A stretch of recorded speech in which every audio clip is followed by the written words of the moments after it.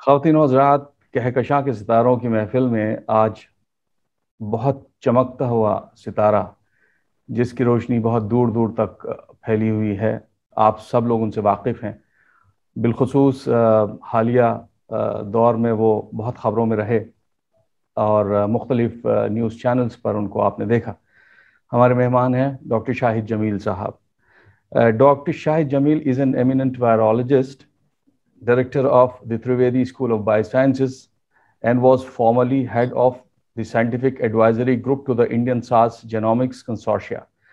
Dr. Jamil is an elected fellow of all uh, three major Indian science academies, National Academy of Sciences, Indian Academy of Sciences, and Indian National Science Academy. The Council of Scientific and Industrial Research, the apex agency of the Government of India for Scientific Research, awarded him the Shanti Swarup Bhatnagar Prize for Science and Technology, one of the highest Indian science awards for his contributions to medical sciences. Shahid भाई अस्सलाम वालेकुम और बहुत बहुत शुक्रिया आपने अपने मसरूफ शेड्यूल में से हमें वक्त दिया वेलकम वालेकुम अस्सलाम मुझे ग्लैड टू बी हियर शायद भाई हम कोई बहुत टेक्निकल या कोई बहुत पॉलिटिकल गुफ्तगु नहीं करने वाले हैं इसलिए कि जो आपका एक्सपर्टीज़ है उसके मुतालिक यानी कोविड के मुतालिक आप ऑलरेडी ज़्यादातर सवालों के जवाब दे चुके हैं और वो मुख्तलिफ़ चैनल्स के इंटरव्यूज़ के बतौर यूट्यूब पर मौजूद हैं। लेकिन कुछ एक सवाल ऐसे अभी हैं जिनके बहुत इतमान बख्श हम लोगों को जवाब नहीं मिले हैं and we are struggling for them पहला तो ये कि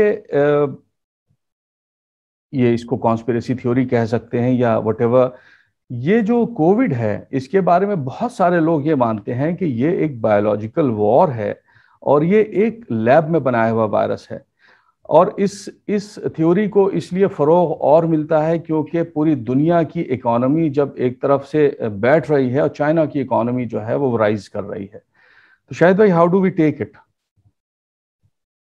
well अगर इसको आप साइंस के नज़रिए से देखें तो अभी तक इस तरह का कोई सॉलिड एविडेंस नहीं है जिसके बिना पर यह कहा जा सके कि ये वायरस एक लैब में बना है या इसको जानबूझ के पॉपुलेशन में छोड़ा गया है।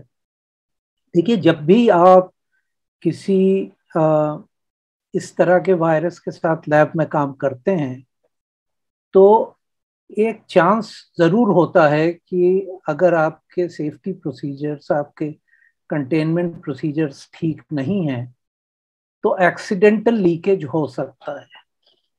और ये एक्सीडेंटल लीकेज पहले भी हुआ है और कई केसेस में हुआ है।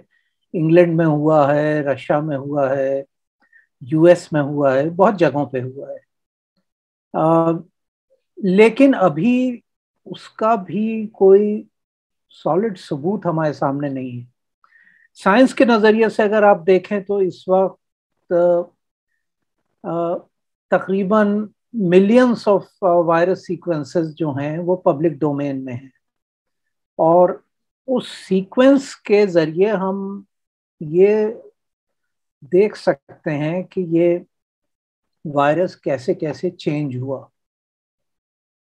तो उस एनालिसिस से अभी तो यही लगता है कि ये वायरस किसी एनिमल स्पीशीज से ह्यूमन पॉपुलेशन में आया है। मोस्ट लाइकली बैट्स चिमगादड़ों से आया है। आ, कोई और एनिमल होस्ट इसमें बीच में है या नहीं ये अभी तक नहीं पता लगाया जा पाया है। और वो इतना आसान भी नहीं है पता लगाना।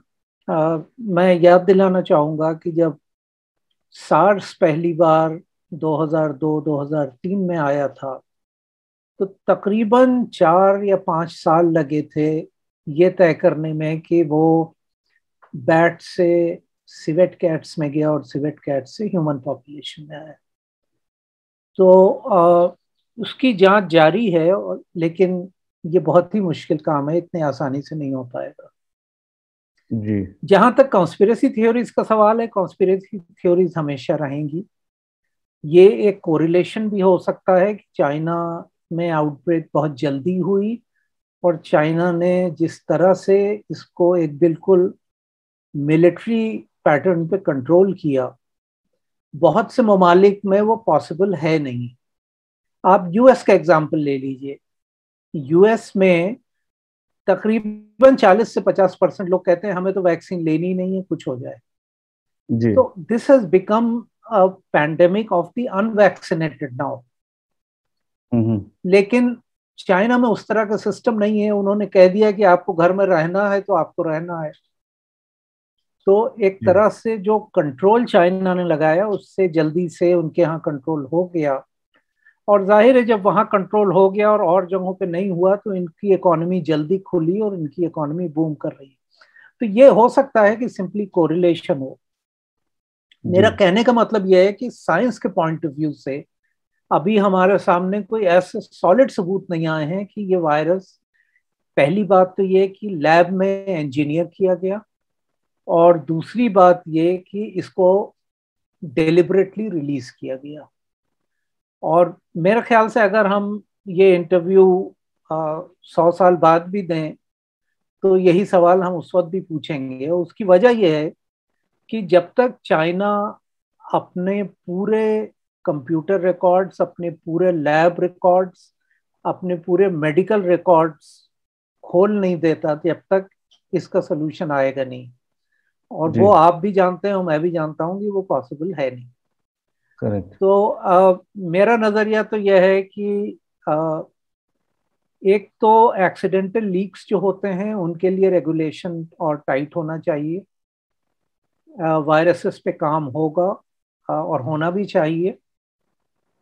लेकिन एक जो स्टडी होती है जिसको हम गेन ऑफ़ फ़ंक्शन स्टडी कहते हैं जिस जिसका मतलब ये कि आपने एक वायरस लिया जिस जो बहुत ज़्यादा पोर्टेंट नहीं है और उसको लैब में आपने थोड़ा उसमें बदलाव किया।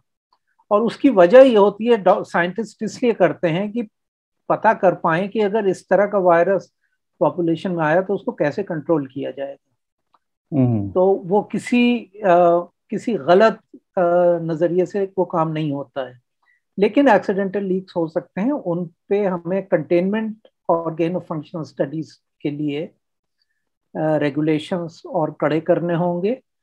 और उसके अलावा यह है कि जो अभी जो प्रॉब्लम है, उस पर फोकस करें वैक्सीनेशन पे फोकस करें और इस पे फोकस करें कि जल्दी से जल्दी ये पैंडेमिक ख़त्म हो। बिना बात की कंस्पिरेसी थ्योरी से कुछ हासिल है नहीं। जी।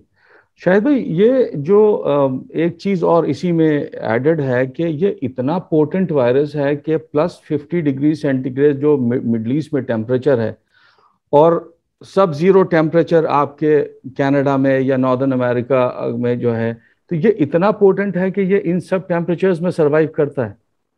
नहीं तो दूसरी बात यह है कि वायरस ना तो बर्फ़ में सरवाइव कर रहा है ना रेगिस्तान में सरवाइव कर रहा है। वायरस हमारी बॉडी में सरवाइव कर रहा है और हमारी बॉडी का एम्बियंट टेम्परेचर 37 डिग्रीज है।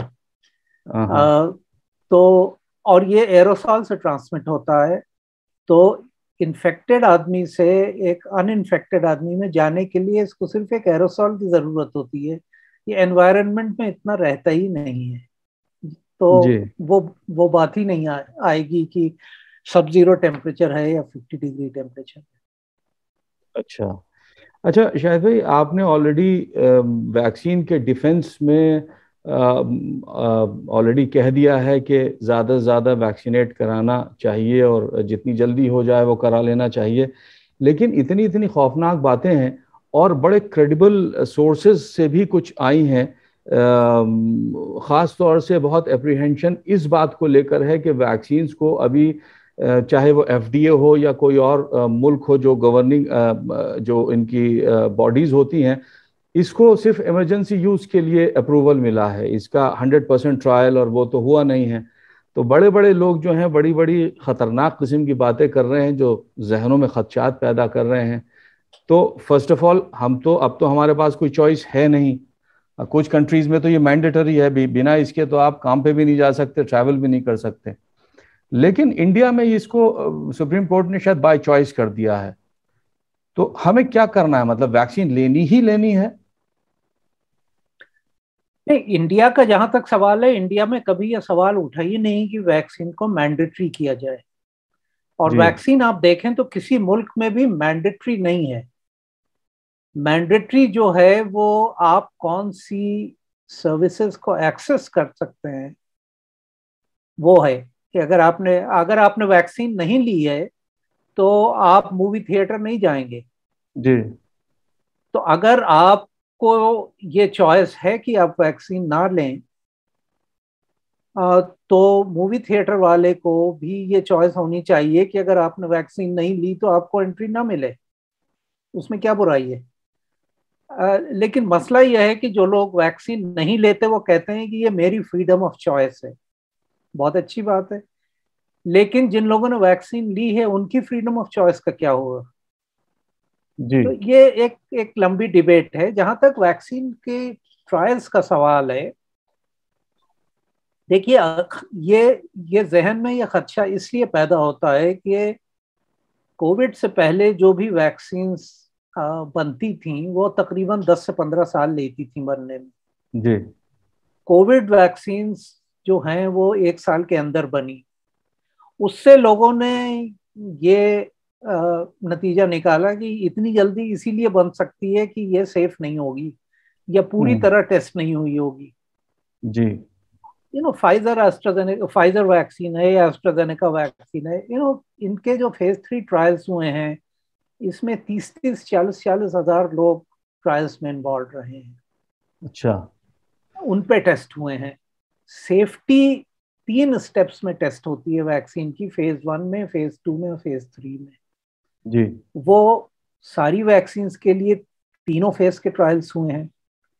हाँ फ़र्क ये है कि कोविड से पहले जब वैक्सीन टेस्ट होती थी तो पहले फ़ेज़ वन हो जाता था, उसके बाद रेगुलेटर वो डेटा देखता था, फिर अलाउ करता था फ़ेज़ टू के लिए, वो डेटा देखने के बाद फ़ेज़ थ्री के लिए परमिशन देता था। इस बार ये हुआ है कि ये सब ज़्यादातर पैरेलल हुआ है। फ़ेज़ वन और phase two trial phase one खत्म होने से पहले फ़ेज़ टू शुरू हो गए। फ़ेज़ टू खत्म होने से पहले फ़ेज़ थ्री शुरू हो गए। लेकिन सेफ्टी तीनों स्टेज पे मुकम्मल तरीके से देखी गई है। अच्छा। और उस ट्रायल के अलावा बहुत ज़रूरी यह है कि वैक्सीन जब पॉपुलेशन में आई तो उसका क्या इफ़ेक्ट हुआ? हम्म। तो पॉपुलेशन में जब वैक्सीन आई तो हम दो चीज़ देखते हैं। एक तो ये देखते हैं कि सीरियस एडवर्स इवेंट्स कितने हुए? सीरियस एडवर्स इवेंट्स का मतलब ये नहीं है कि आपको दो दिन बुखार आया या जहाँ वैक्सीन लगी है वहाँ थोड़ी स्टिफनेस रही। Those are not serious adverse events serious adverse events are things that can put you in a hospital जी। वो अगर देखा जाए तो उसका रेट बहुत कम है। ज़ीरो नहीं है और ज़ीरो होगा जी. भी नहीं। जी। मैं याद दिलाना चाहूँगा कि जो पोलियो वैक्सीन है, जिसने पूरी दुनिया से पोलियो को ख़त्म किया है, वो पोलियो वैक्सीन भी दस लाख बच्चों में मतलब एक मिलियन बच्चों में एक बच्चे को वैक्सीन की वजह से पोलियो होता है। अच्छा। तो अगर हम ये कहें कि वो पोलियो वैक्सीन देनी नहीं चाहिए इसलिए कि उस एक बच्चे को पोलियो होता है तो बाकी एक मिलियन बच्चों का क्या होगा? तो हमें वैक्सीन को पॉपुलेशन में देखना होता है हमें इंडिविजुअल नहीं देखना होता। ज़ाहिर है कि जो इंडिविजुअल जिस इंडिविजुअल के साथ ये हुआ उसके लिए तो रेट हंड्रेड परसेंट है। But when it goes in a population you look at population effects और अभी तक जो देखा जा रहा है वो सीरियस एडवर्स इवेंट्स जो हैं they are less than point zero one percent uh, which means that the, vaccine is really safe for almost everyone.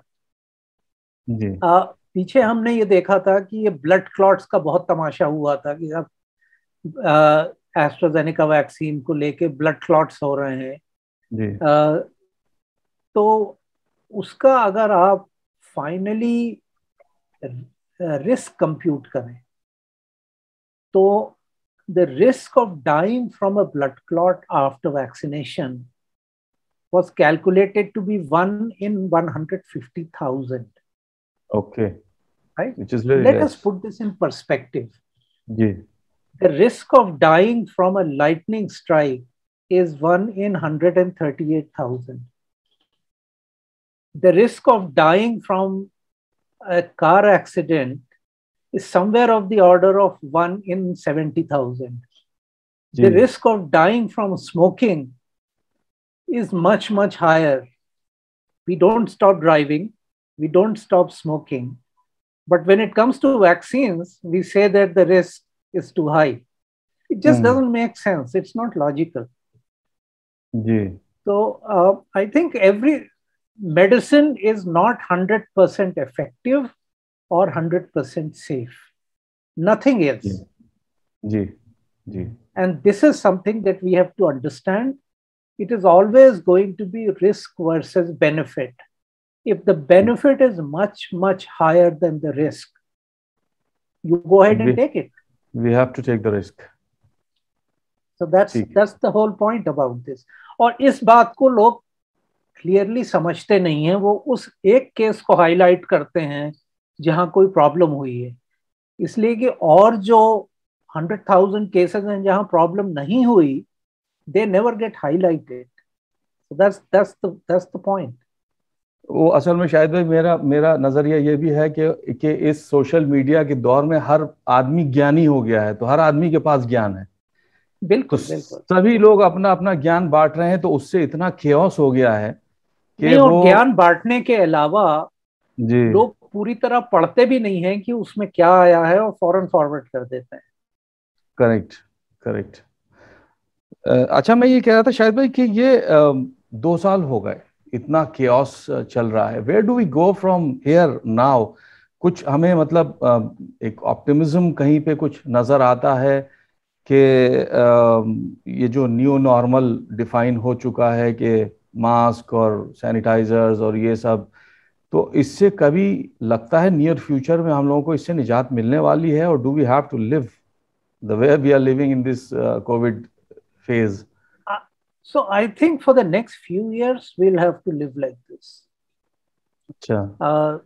In the in the evolutionary life time of anything you know few years is nothing So this virus also, like earlier viruses, will become endemic, will always be with us, will not cause as much disease because most of us would have either been vaccinated or exposed to the virus and therefore will be immune to it. And that's mm. how the virus will reduce its disease causing ability mm. uh, and just persist in the population. There are four other endemic coronaviruses that together cause about 20% of annual common cold, mm. which at some point in our history, we don't know how far back, uh, 100 years, 200 years, 1000 years, we don't know that, would have caused disease, but have now become endemic. Mm-hmm. Same thing will happen to this virus and how quickly it becomes endemic will depend upon how quickly we are able to vaccinate. And the the, the really the the most important thing that has happened in this pandemic is that we have a vaccine to fight the pandemic. This has never happened in human history. Mm. we have never ended a pandemic with a vaccine. This is the very first opportunity that humankind has to end a pandemic with a vaccine. Hmm, And we must not let this opportunity go by. Ji The, the other thing I would say is कि आज जो लोग बात कर रहे हैं कि ये वैक्सीन बारह महीने के अंदर बन गई तो सेफ नहीं होगी अगली पैंडेमिक जब आएगी तो वही लोग कहेंगे कि कोविड वैक्सीन तो एक साल में बन गई ये वैक्सीन दो महीने में क्यों नहीं बन रही? तो this is how we as a population behave and believe me the way technology is today it is possible to make a vaccine in much less time vaccine of the future are going to be very different from what we know of vaccine today जी। अच्छा। अच्छा शायद भाई अब थोड़े से कुछ आपसे मैं पर्सनल सवाल पूछ रहा हूँ कि आप profession in medical science was your choice और because it runs in your family well I am not a medical doctor so I don't have the license to kill मैं uh, मैंने एएमयू से स्कूल ख़त्म करने के बाद AMU में जो फ़र्स्ट ईयर था मेरा वो प्री मेडिकल था। अच्छा। और आ, शायद मैं डॉक्टर बन गया होता। अच्छा शायद एक मिनट स्कूलिंग कहाँ से स्कूलिंग आपकी कहाँ से हुई थी? स्कूलिंग अलीगढ़ से थी मेरी आ, एक our lady of Fatima high school है वहाँ से मेरी स्कूलिंग थी। अच्छा। आ, वो काफ़ी नया स्कूल था उस वक्त हम लोगों का चौथा बैच था उस स्कूल का। अच्छा अच्छा अच्छा। तो आ, पहला ईयर मेरा प्री मेडिकल था और प्री मेडिकल में मैंने ठीक ठाक किया था मेरी पोजीशन थी यूनिवर्सिटी में सब था। लेकिन आ, मैं कुछ काफ़ी पुट ऑफ़ हो गया था डॉक्टर से और मेडिकल स्टूडेंट से। मेरी वालदा मेडिकल कॉलेज में पढ़ाती थी तो मैं अक्सर मेडिकल कॉलेज जाता था। जी। और परहैप्स वो एक एक टीनेज जहन जो है उसकी उसका फतूर था कि मैं मेडिकल स्टूडेंट्स को और डॉक्टर्स को जब जकरिया पे चाय पीते देखता था उस वक्त भी उनको वो वाइट कोट पहने होते थे और उनके स्टेथोस्कोप लटका होता था। तो आ, मुझे लगता था कि ये I don't want to be like them अच्छा। तो you, you had a very I, I think ji so uh, I actually after having uh, done very well in PMC, I never sat for the medical entrance exams. Acha, you didn't. You didn't even no, attempt I it. Didn't. No, I didn't even attempt it. Acha. Uh, so I continued to do my BSc in chemistry. और chemistry में BSc करने के बाद uh, मैं मैंने अलीगढ़ छोड़ दिया और मैं आईआईटी कानपुर चला गया था एमएससी किया मैंने वहाँ से। जी। लेकिन मुझे बायोलॉजी से शौक था बायोकेमिस्ट्री से शौक था और वो आप कह सकते हैं एक तरह से खानदानी पेशा था। जी। तो आ, तो फिर मैंने पीएचडी बायोकेमिस्ट्री में की अपनी और उसके बाद वायरसेस पे काम करना शुरू किया। अच्छा अच्छा। अच्छा शायद भाई you are in contention for M U vice chancellor post तो आपको क्या लगता है कि आपकी बड़ी कंपोज और कूल पर्सनैलिटी ये ये बर्डन कैरी कर सकती थी या कर सकती है? नहीं आई डोंट नो क्या आ, ऐसा होता तो कैसा होता वो तो मैं नहीं कह सकता था लेकिन आ, मैं फर्मली इसमें बिलीव करता हूँ कि जो होता है अच्छे के लिए होता है। जी। आ, शायद वो मेरे अच्छे के लिए भी हुआ और एम यू के अच्छे के लिए भी हुआ। तो आ, ये ये मैं नहीं कह सकता। आ, लेकिन बहुत से चैलेंजेस होते हैं इतनी बड़ी यूनिवर्सिटी को रन करने के लिए। जी, जी. आ, हम बैठ के दूर से क्रिटिसाइज तो कर सकते हैं। आ, लेकिन आ, जब जब आदमी पानी में उतरता है जब भी उसको तैरना आता है। सही बात। तो वो तो करना पड़ेगा। तो I I mean I have I have no regrets जी जी जी। आपके शायद भाई इतने एकेडमिक अचीवमेंट्स हैं तो आ, हमारे लिए तो आप ही रोल मॉडल हैं। आप ये बताइए आपके रोल मॉडल कौन रहे हैं? मेरे रोल मॉडल मेरे वालदेन रहे हैं। और साइंस की दुनिया में अगर आप जाएँ तो मैं उबैद सिद्दीकी साहब को काफ़ी मानता था और हम्म, हम्म। उनके साथ मैंने थोड़ा सा काम भी किया है तो मेरे हिसाब से प्राइमरीली माय पेरेंट्स उनका मेरे ऊपर बहुत असर रहा है प्रोफेशनली भी और पर्सनल लाइफ में भी मैंने बहुत सीखा है उनसे आ, कैसे चीज़ों को हैंडल करना कैसे आ, आ, जो you know life always gives you life never gives you everything good life gives you you know some things that are good some things that are not so good so how to deal with with both of them uh, with equal intensity and with a smiling face i think is uh, this is something that I've, I've really learned from my parents.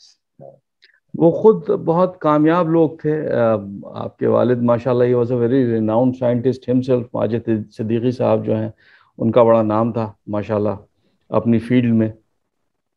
तो शायद भाई आप ये बताइए कि आपके अपने इस सक्सेसफुल करियर में आप एम यू का क्या कंट्रीब्यूशन मानते हैं? नहीं मेरी जो मतलब बीएससी की पढ़ाई है वो सारी एमयू में हुई।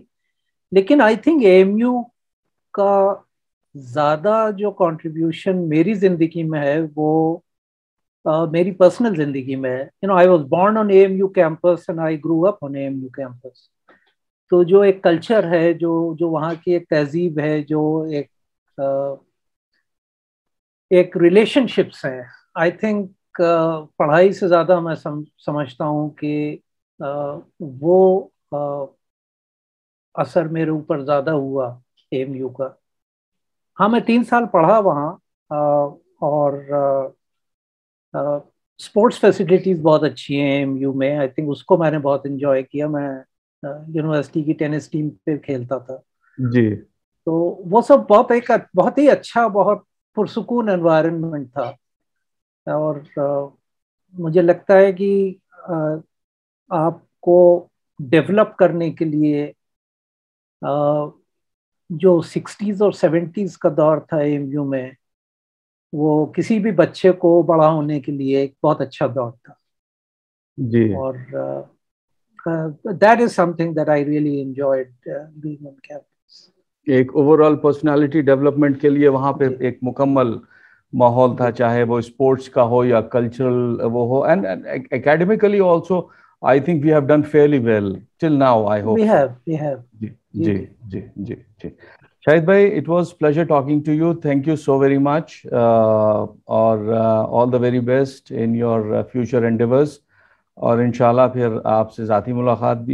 होगी और फिर किसी और इवेंट में इंशाल्लाह ताला मुलाकात करेंगे थैंक यू वेरी मच इंशाल्लाह थैंक यू शुक्रिया शुक्रिया शाहिद भाई खुदा हाफिज़